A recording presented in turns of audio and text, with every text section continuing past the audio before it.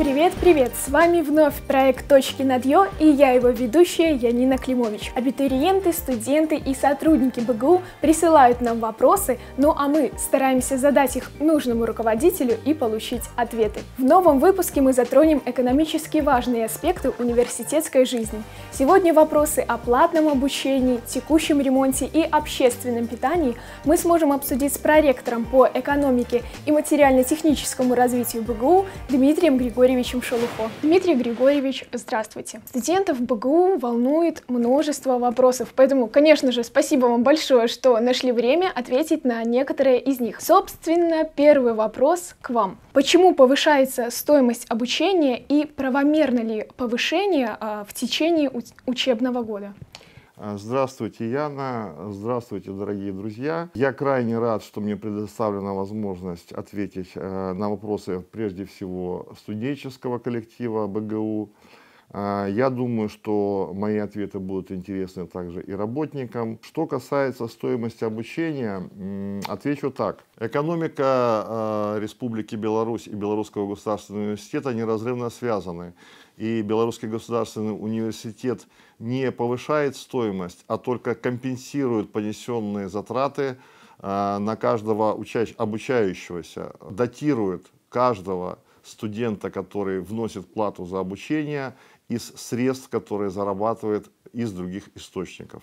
Есть прежде всего объективные экономические показатели, такие как увеличение базовой ставки, базовой величины, изменение условий оплаты труда. И, в общем-то, все знают, что есть такой э, экономический показатель, как инфляция.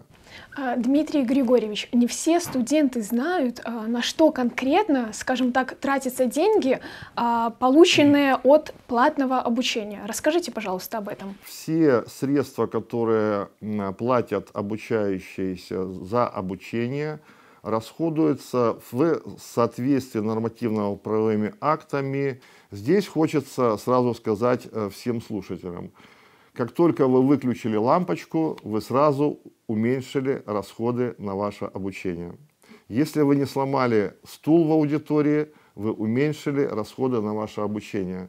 Обращаясь ко всем э, жителям БГУ с просьбой экономно относиться к ресурсам и оборудованию. Спасибо. Дмитрий Григорьевич, есть ли возможность получения скидки для студентов на питание в столовых БГУ? И если да, то в каком размере? Э, наш студент э, очной формы обучения, придя в любой э, пункт общественного питания БГУ, будь то буфет или столовая, автоматически после предъявления студенческого билета получает скидку в 10%. Все остальные, кто пользуется объектами общественного питания такая скидка не предоставляется. Дмитрий Григорьевич, ну а сейчас я предлагаю перейти к вопросам а, материально-технического развития БГУ. Вот в этом году а, отремонтировали а, часть главного корпуса. Скажите, будет ли продолженный ремонт корпуса и если будет, то когда? Для того, чтобы нам начать капитальный ремонт третьей, четвертой очереди главного корпуса,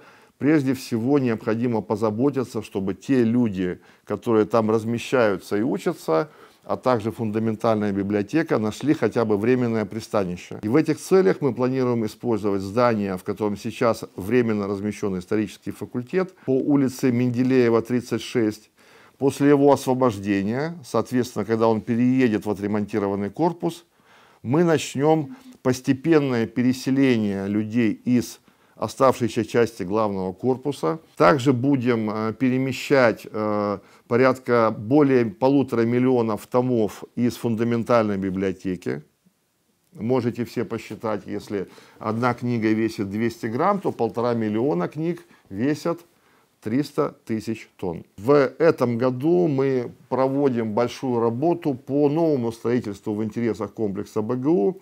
Прежде всего это касается начавшегося строительства физкультурно-оздоровительного комплекса. Э, строительство началось э, в августе этого года. Э, достаточно интересный объект в обрамлении Дубравы Белорусского университета. Недалеко от биологического факультета строится физкультурно-оздоровительный комплекс с двумя многофункциональными залами, открытыми площадками И мы планируем, что его эксплуатация начнется с нового учебного года в 2025 учебном году, в 2025 году. Следующий объект, который Белорусский государственный университет планирует к строительству, это здание учебно-лабораторного корпуса биологического факультета между зданиями действующего э, корпуса биологического факультета и общежитием э, по Курчатова, по-моему, 6. Э, планируется строительство трехэтажного лабораторного корпуса с переходной галереей. Оно планируется завершению в 2026 году. Следующий вопрос, э, который прислали нам э, наши подписчики э, в, чат, в чат-бот Telegram. Сейчас холодное время года, и студенты заметили, что после замены окон в учебных корпусах на Курчатова 5 в помещениях стало заметно теплее. Поэтому вопрос, планируется ли замена окон в соседнем корпусе на Курчатова 1? Да, уважаемые коллеги, в этом году планируется в рамках текущего ремонта замена практически всех окон по в здании Курчатова-1. И не только это, также там планируется, по-моему, замена зенитных фонарей в поточных аудиториях, некоторые другие активности э, при наличии средств. А, это все будет сделано в этом году в рамках текущего ремонта. Дмитрий Григорьевич, мы также знаем, что а, весной этого года планируется замена лифтов в общежитии по Курчатова 8. Собственно, это ведь может вызвать а, некоторое неудобство для проживающих. И скажите, лифты будут меняться все сразу или каким-то можно будет пользоваться? И можно ли перенести эти работы на лето? То есть, когда студенты не будут проживать в общежитии? Лифты будут будут а, заменяться поэтапно. Несколько лифтов будет выводиться из эксплуатации, меняться, запускаться, и только после этого будут меняться следующие лифты. А, работы запланированы э, на, скажем так, весну этого года. Еще один интересный вопрос от наших студентов. Фасад учебного корпуса по улице Карла Маркса, 31, на фоне соседних зданий очень серый и хмурый. Можно ли его перекрасить в более яркий цвет? Вы знаете, на самом деле, Яна, нет ничего невозможного, и можно перекрасить в любой цвет. Другое дело, что на это э, сразу наступит ответственность, э, потому что здание по э, экономического факультета находится в перечне зданий историко-культурного наследия, и цветовая гамма этого здания утверждается на уровне Министерства культуры.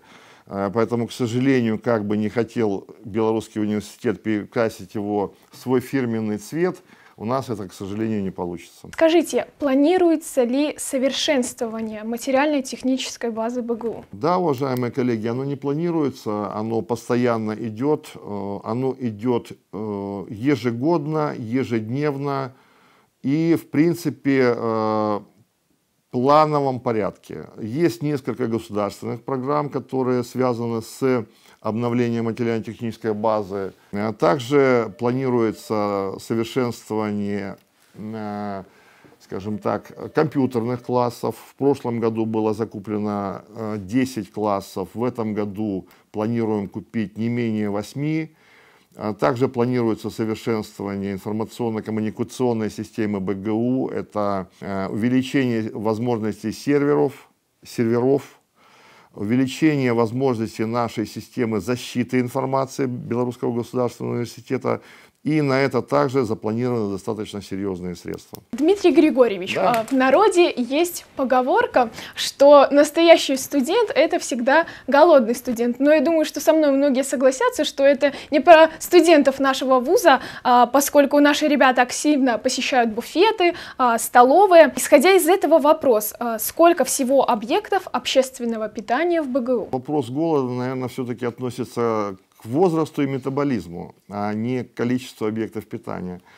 А, уважаемые коллеги, у нас э, в Белорусском государственном университете всего 20 объектов общественного питания, Центра общественного питания университета. Из них один объект не работает, это э, буфет на историческом факультете в связи с тем, что там происходит ремонт в здании, хотя в настоящий момент в здании отремонтированного буфета уже э, положена плитка, там, в принципе, тепло, и скоро он заработает. Один объект – это цех по заготовке, и также у нас 10 столовой и 8 буфетов.